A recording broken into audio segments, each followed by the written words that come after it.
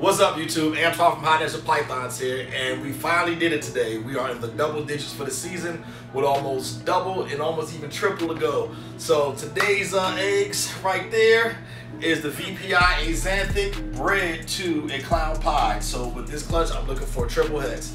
Everything's gonna be normal unless I get something special I don't know about, whatever. So everything should be normal. Triple heterozygous for VPI Axanthic, clown, and pied. As far as I know, the triple visual does not exist yet, so that's why I went for that project. Uh, I think a year and a half ago, I went looking for some triple hets to make them, and I tried to find the visual uh, Axanthic Clown Pied, and I didn't see anything. So um, I was like, hey, if they don't exist, it's my job to make them. So um, I'm also doing an Xanthic Clown project as well, and a Banana Xanthic Clown, but no um, Axanthic pieds because um, they're not really my thing. But I would like to see a gray and white or gray and black uh, clown pied. So I think that'd be super dope.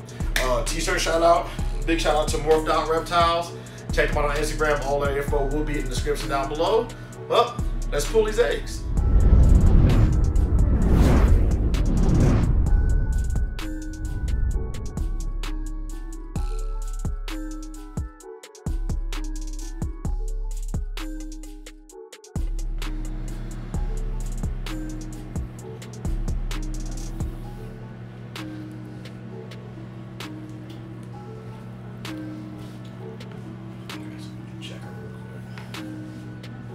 Sure she's good. Yep.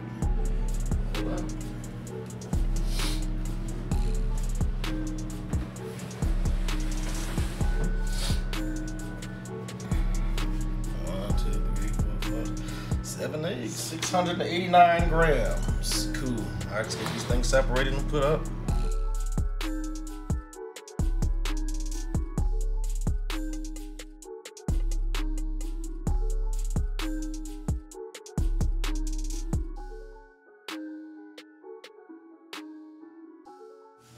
All right, all candled, all look good. Cover these bad boys up.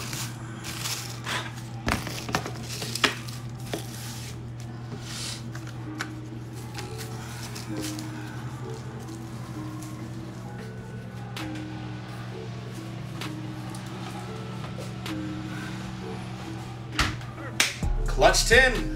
All right, clutch number 10 is in the books. Once again, that was a VPI Axanthic female bred to a clown pied. So looking for all normal snakes, nothing special looking, you know, unless there's something else in the girl I don't know about, like her being het pied or something like that. But we'll see, man. Hope you enjoyed the video. Like, share, subscribe. Hit that notification bell so you know every time a new video pops up. Till next time, deuces.